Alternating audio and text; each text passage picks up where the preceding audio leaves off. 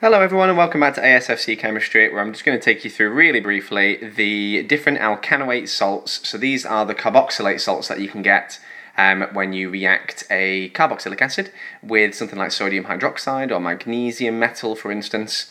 And there's just a little bit of confusion occasionally with how to name these. So the easiest example I can think of at the moment is sodium ethanoate, which is on the screen at the moment for you. And this is obviously the written way of um, putting its name ethanoate just there, and we've also got a diagram. Now the bit I've underlined just in red for you there is specifically referring to this bit on the uh, left of the diagram just below. And you can see the ethan part of this is the number of carbons here, so that's one, two carbons that are inside the chain that connect to the sodium. And you must be really clear in the exam to show that this is an ionic bond. They get really narky, especially OCR, if you show a covalent bond line like all the others between the oxygen and the sodium. Now all you need to do to name others is literally take the chain name, just like you've got here, and then put oate at the end of it. That's all you need to do. So if you had a prop chain, it would be propanoate. If you had an oct chain, it would be octanoate. That's all you need to do. Don't overcomplicate it. The only other thing I can say that could be an issue, something that could trick you up in the exam, is just to keep an eye on the metal that's involved. Because here, for, for of course, we've got um, a sodium, which is a group 1 metal, and so it's just going to be 1 plus, and so therefore I just need one of the carboxylate salt ions, the ethanoate ion in this case, to make sure that that formula balances.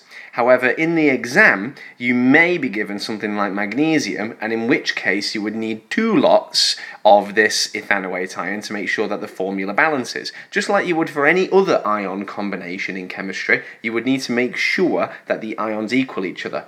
What they could do to try and trick you, for instance, though, is use a dicarboxylic acid in the first instance, and then you end up with a dicarboxylate salt, but you wouldn't be expected to name one of those because that's quite a complicated example.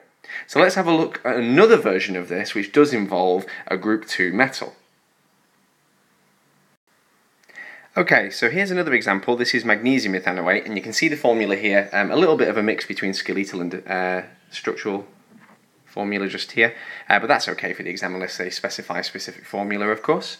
Um, and you can see here what I've done is I've put it in brackets, put a 2 on the outside, um, I've kept the charge of the anion inside there, and I've also kept the charge on the outside just to make it really clear. But I think what's more important for this one is not to lose focus on the fact that it is just ethan oate. So just as I said before, all you do is take the carbon chain and you put oate on it. You don't have to use locator numbers for this at all. Um, just treat it like a carboxylic acid group. It's assumed as carbon 1, um, surrounded by the oxygens there. Now, what's more important for this one as well is look at how I've written the formula underneath just here. I've written it without the charges and I've put the two outside the brackets, which you can see here, and then at the end I've listed the metal. Now, that's probably the clearest way you could write this out in the exam because here you can see I've systematically picked my way through. I've gone CH3, COO, and then I've closed off the brackets. It's very clear what I mean that to be inside. As well, alongside the magnesium there, it's obvious that this isn't a covalent bond because I've listed this in a structural line style format. I think this is probably the easiest way to represent it in the exam, and I would really encourage you to do it that way unless they specifically asked for a displayed formula diagram. In which case, you could do a variation of the one above. Just make sure that you show every atom and every bond if it asks for displayed. I hope that clears up how to name some of these uh, carboxylate salts, which can be found in buffer solutions or in the reaction between a weak acid and a strong base or an alkali, for instance. I'll leave you to the rest of the playlist, and until then, happy revising.